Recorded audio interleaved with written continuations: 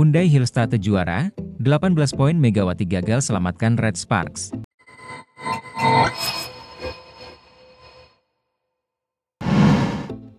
Hasil final voli putri Kovo Cup 2024, Hyundai Hillstate keluar sebagai juara setelah mengalahkan Red Sparks selaku tim Megawati Hangestri, Minggu, 6 Oktober 2024. Dalam laga yang berlangsung di Tongyeong Gymnasium, Red Sparks kalah dengan skor akhir 1-3, 25-23, 15-25, 14-25, 18-25. Sempat menang di set pertama, konsistensi Megawati CS justru ambiar di set kedua hingga keempat. 18 poin yang dicetak Megawati belum mampu. Menyelamatkan Red Sparks dari kekalahan, Red Sparks harus mengakui ketangguhan Hyundai Hillstate selaku juara Liga Voli Korea 2023-2024. Praktis, Red Sparks gagal membalaskan dendam kekalahan lima tahun silam. Mengingat di final Kovo Cup 2019, Red Sparks gagal juara setelah kalah dari Hyundai Hillstate.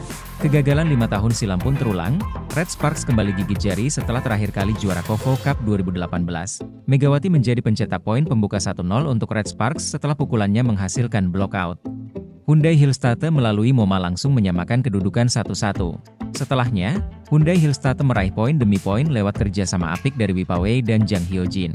Tak hanya itu, Lee Dahyun juga ciamik dalam melakukan blok yang mampu membendung serangan para pemain Red Sparks. Red Sparks tertinggal 3-8. Bukilic menunjukkan tajinya, ia membuat kedudukan menjadi Mei 10 lewat kerjasamanya dengan Yeom Hiseon. Bukilic makin on fire, Megawati pun demikian, saat Red Sparks tertinggal November 13, Ko Hee-jin melakukan rotasi, Shin Eun-ji masuk menggantikan Jung Ho-yang. Hal itu berbuah manis, servis Shin Eun-ji berhasil diterima Moma yang langsung disambar Bukilik. Red Sparks mulai mengejar ketertinggalan, Jung Ho-yang kembali dimasukkan menggantikan Shin Eun-ji. Skor imbang 14-14, pertandingan makin sengit. Red Sparks akhirnya mampu membalikan keadaan jelang poin-poin kritis, kerja sama apik. Antara Yeom Hyeseon dan Bukilich terus berlanjut. Smash keras Bukilic akhirnya menjadi poin penutup set pertama. Red Sparks menang 25-23. Di set kedua, dominasi langsung diperlihatkan para pemain Hyundai Hillstate. Momat tak hanya lihai dalam menyerang, ia juga aktif melakukan blocking yang efektif. Penerimaan bola Red Sparks masih bermasalah, Megawati CS tertinggal 0-3. Red Sparks baru bisa membuka poin menjadi 1-3 lewat Megawati yang mendapat umpan dari Eum Hyeseon. Sangat terlihat jelas, para pemain Hyundai Hillstate tampil sangat solid dalam menyerang maupun bertahan, yang menjadi sorotan, penerimaan bola mereka begitu apik.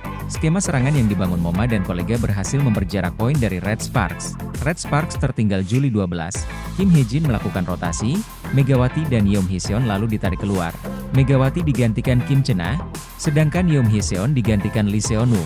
Rotasi yang dilakukan belum berdampak signifikan.